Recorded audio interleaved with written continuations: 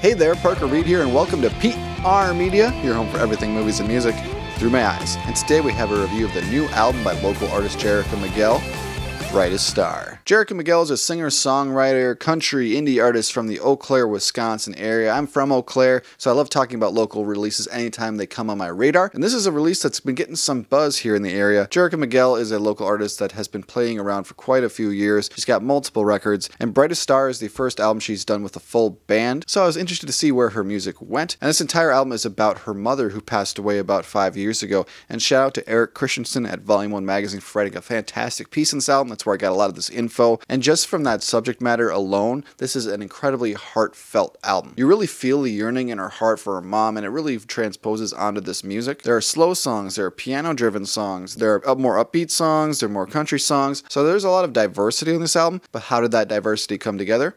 Let's get into it. I think the biggest holdback for Brightest Star is the fact that its first song, Trouble, which also served as a lead single, was my least favorite song on the album. I think Jerrika has a fantastic voice, but there are some vocal inflections on Trouble that were just kind of throwing me through a loop. I understood what she was going for, but it didn't work for me ultimately. I think she sounds much better when she sings straightforward with more power. This song was kind of doing a almost yodeling country vibe. I think the track list got much better after Trouble, but it kind of came out with a whimper on this song. After Trouble, I was like, oh gosh, what am I in for on this seven seven track album, but Banks on the River, a solid song, a lot of great Fender Telecaster tones, some very light drums, very light bass, and some strong backing vocals. I think the mix in this entire album is very earthy, very organic. It feels like you're sitting in the room in the studio with them. This doesn't feel like a polished studio record. That might have helped some of these songs, but it does add to the charm and the hometown feel of Brightest Star. And the next three songs almost feel kind of looped together for me. Grief Song, With or Without You, and Oh Mama are all odes to her mom who passed away. And I think they're catchy and upbeat, but don't think they're the most memorable on Brightest Star. I think the song could have benefited from being a 10 song full length record that would kind of go on a journey with Jerrika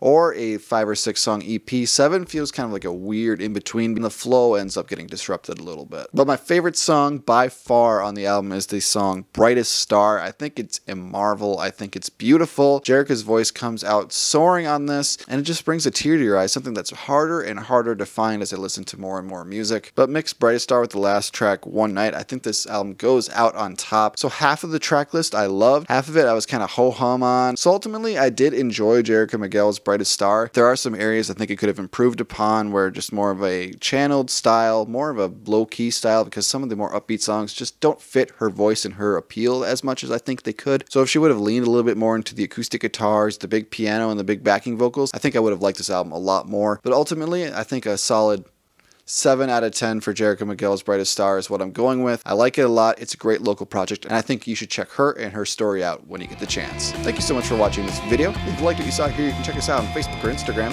and like, comment, and subscribe if you so choose. My name is Parker Reed. You've been watching PR Media. Keep supporting physical media, and I'll see you next time. Thanks, guys. Mama.